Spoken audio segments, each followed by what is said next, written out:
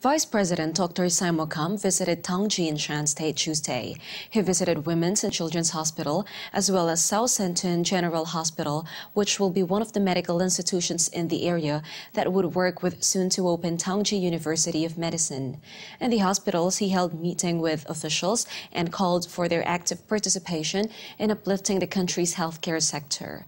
On the same day, the Vice President met with Shan State National Race Literature and Cultural Groups.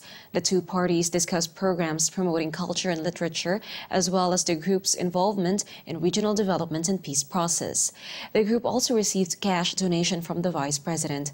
The trip was concluded by paying homage at Shwe Phone Pwint and Mya Sein Taung pagodas.